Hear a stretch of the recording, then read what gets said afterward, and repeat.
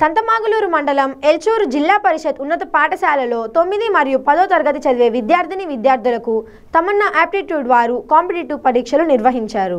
ఈ competitive exam గురించి ఏల్చూరు జిల్లా పరిషత్ ఉన్నత పాఠశాల ప్రధాన ఉపాధ్యాయుడు వెంకటేశ్వర్లు మాట్లాడుతూ తమన్నా యాటిట్యూడ్ వారు తొమ్మిది మరియు పదవ తరగతి విద్యార్థులకు పోటీ పరీక్షలు నిర్వహించడం వల్ల విద్యార్థులకు మంచి జరుగుతుందని భవిష్యత్తులో ఉద్యోగాల వేటలో ఎదురయ్యే పోటీ పరీక్షల్లో ఉత్తమ ప్రతిభ కనపరచడానికి దోహదపడుతుందని తెలిపారు.